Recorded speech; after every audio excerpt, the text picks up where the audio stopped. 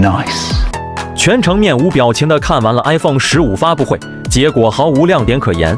我就是想替库克吹一下 iPhone 十五，我都不知道拿什么吹，吹哪一点。所以今天还是继续来疯狂硬核的测试一下华为 Mate 六零的质量有多牛吧。为了测试华为 Mate 六十的质量，网友已经疯狂到什么地步了？首先，在滚筒洗衣机里面洗了一整天，拿出来还是一点事都没有。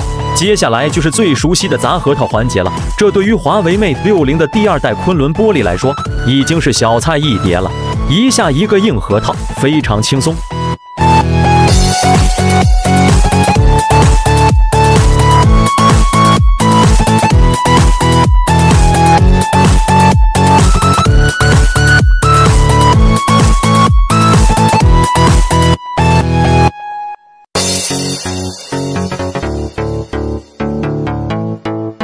不过，比起砸核桃、砸钉子的操作就更加硬核了。虽然这操作看起来有一点离谱，有一点不科学，但也没办法，华为昆仑玻璃就是硬。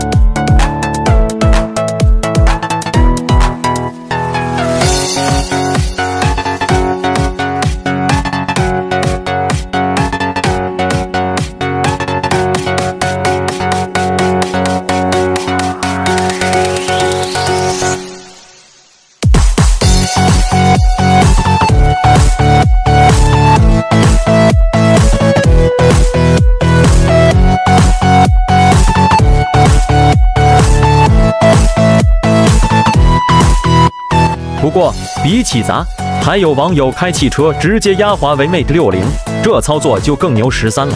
轿车压完，结果华为 Mate 六零一点事都没有，甚至还有人开大巴车压。不过，大巴车还不是最离谱的，更离谱的是，连压路机都来压华为 Mate 六十了。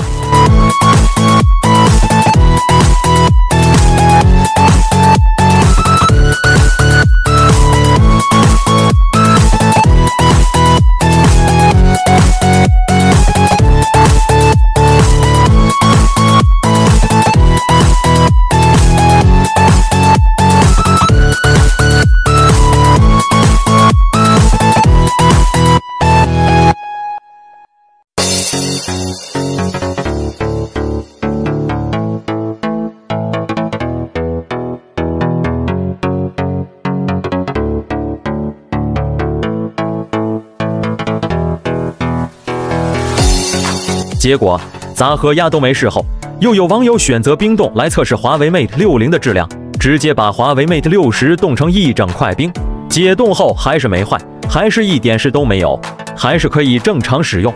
还有更牛的，直接把华为 Mate 六零放在零下三十度的冷冻室里冻成冰雕，结果解冻后，华为 Mate 六零不仅没关机，而且依旧正常亮屏，可以正常使用。要是华为 Mate 六十玩脏了，扔到水里冲一下也没毛病。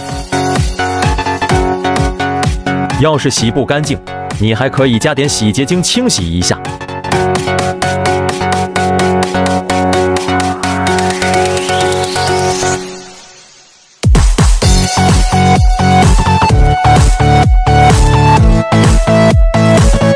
当然，测试质量嘛，肯定是少不了各种摔了。结果华为 Mate 六十还是没摔坏。